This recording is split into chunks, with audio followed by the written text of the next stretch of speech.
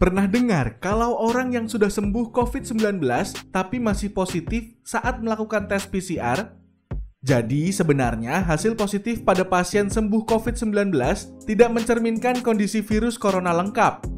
Saat pasien sembuh, virus corona tetap meninggalkan jejaknya berbentuk partikel kecil. Partikel kecil bagian virus ini tidak berbahaya sama sekali. Yang penting, mereka telah menjalani karantina atau isolasi mandiri selama 10 hari sejak tes PCR konfirmasi positif. Ujar Zubairi Jurban, Ketua Satgas COVID-19 Ikatan Dokter Indonesia.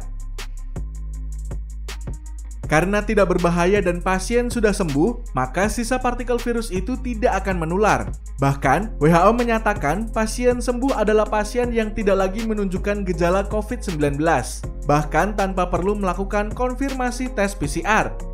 Yuk, patuhi protokol 3M dan jangan memberi stigma pada mantan pasien COVID-19 ya.